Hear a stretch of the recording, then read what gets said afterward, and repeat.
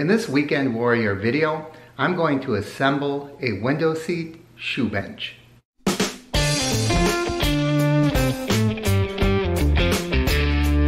Hi, Mark. Welcome to the Average Me channel. In my work area, I have a desk unit that folds down from the wall. It's really a clever piece of furniture. It looks like a cabinet and then the desktop folds down and I thought this is going to save me a lot of space. And it really does until I realized, but every time I want to put that back, I have to do something with my computers and my papers. And while I was pondering that, looking straight ahead, I saw a window. And Underneath that window was nothing. So I thought if I can find the right bench to put there, when I'm ready to put everything away, I can put it right in that bench and then I can fold my desk up against the wall and we have a nice, clean, tidy area. So here's a bench I found and let's get started and see how we put it together. I found this on Amazon. I will link this down below. So let's get started.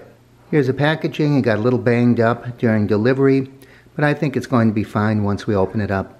As I open this up, there is styrofoam everywhere, so you might want to have a vacuum cleaner handy just to clean as you go. And I'm also going to use the box as my working surface, particularly since we have this hard tile floor. As you can see, there's a lot of parts here, so I'm going to wipe them off and set them aside and only bring the pieces over that I'm currently working on. Now we have a clean working surface. You can see all of the hardware is clearly labeled, as is every single piece to this unit. So it should be relatively easy to put together. There are no written instructions. Everything is just done through these pictures and diagrams. I guess we start with pieces 10, 5, and 9, and the hardware from bags A, B, and C. So the directions do tell you how many of each of these you need. Now, these go hand in hand. So anytime you use that, um, I don't even know what they call these, but they screw in to the edge or the face, wherever they're going to go in. In this case, it's wherever they have this plastic uh, insert. And then this is what's used to tighten them together. I'll show you what that looks like. Just like that, be really careful because that insert is a soft plastic and I think it would be really easy to put that in too tightly and strip that out. The dowel is just resting in there. So that's a setup. I did that in four places. And now I'm going to lift this on edge. I'm going to line these holes up with this. And then this is going to drop in. I give that a turn and it'll tighten it all up. Okay, so we put this in. By the way, there are little arrows. Make sure the arrow is pointing down. Then we get a screwdriver and turn it.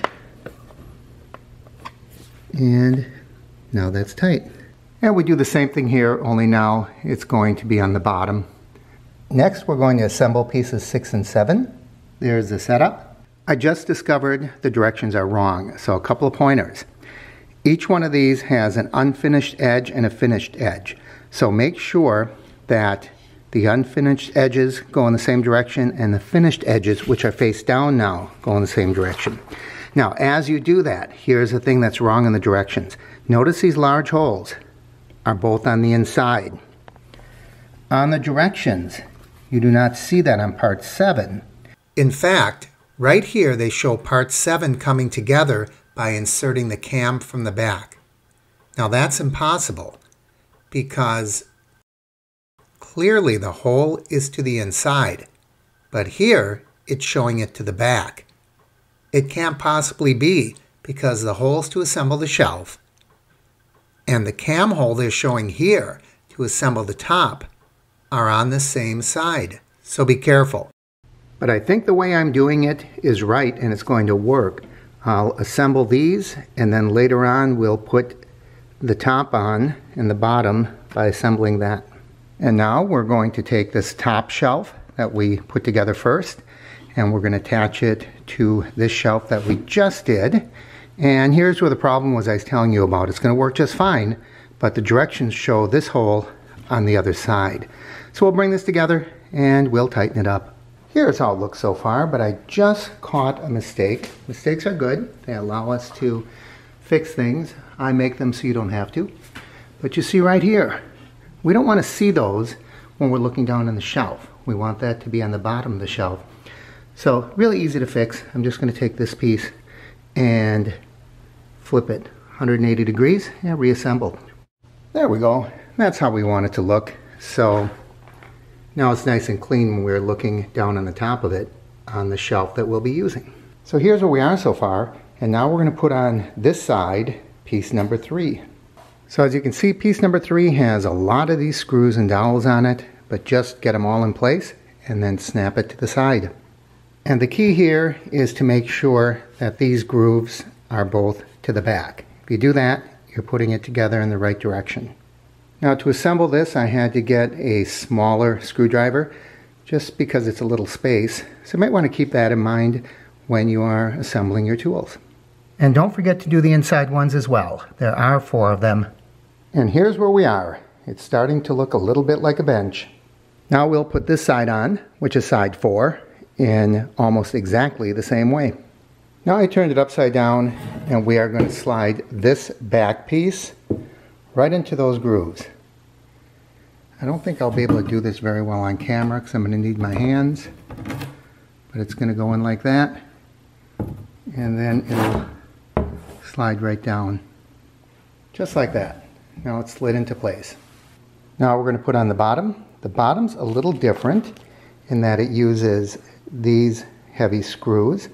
Now be careful. Once again, the directions say six screws and four dowels, but clearly it shows six dowels and you can see 12 holes. There's four, there's four, and there's four. So I think I'll be using six screws and six dowels, assuming they sent enough, which they did. To make it easy, it's dowels to the inside on the inside holes, screws to the outside. And we'll do that all the way down. Let's put the bottom on. Okay, that slid right into place. The groove underneath slid into the back panel.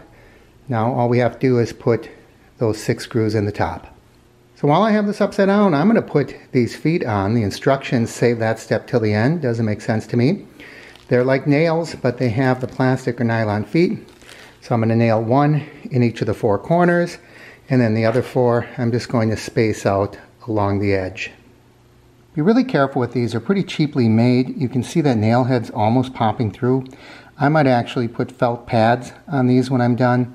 Maybe you'll want to use felt pads instead of these. You can see this one's already starting to crack and I did not even hit it that hard.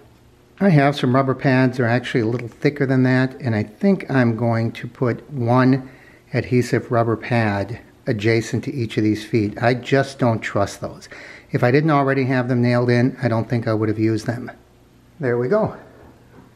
Rubber pads in place.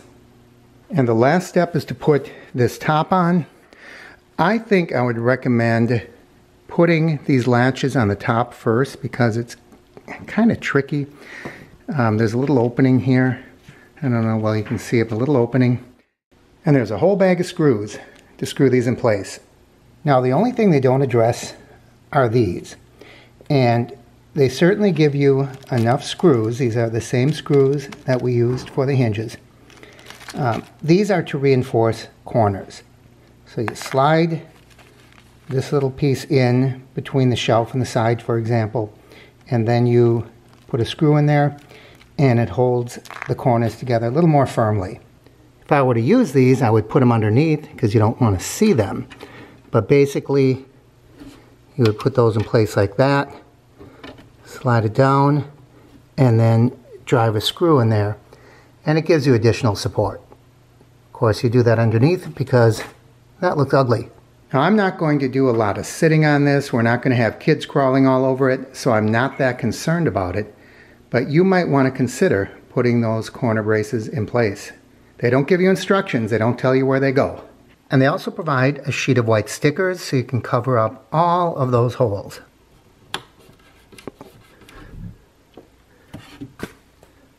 Just like that. And now when I'm through with work, I can put my computer equipment and my work away. I can put my table up and look at that. Everything is neat and tidy.